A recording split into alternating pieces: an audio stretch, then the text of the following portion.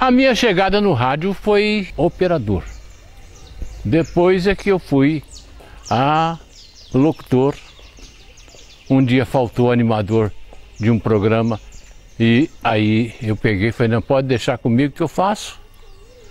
E fui começando Soirée Feminina em 1952. Era o ano que o rádio perdia Francisco Alves, o rei da voz.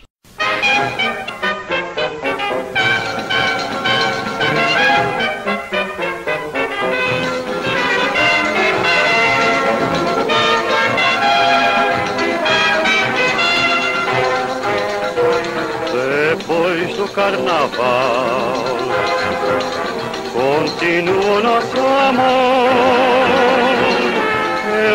sentimental. Sempre fui um sonhador.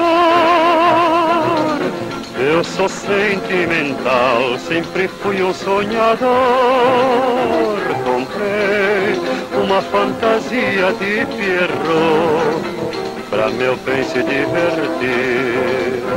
Comprei uma fantasia de Pierrot Pra meu bem se divertir, pra meu bem se divertir, eu dei meu último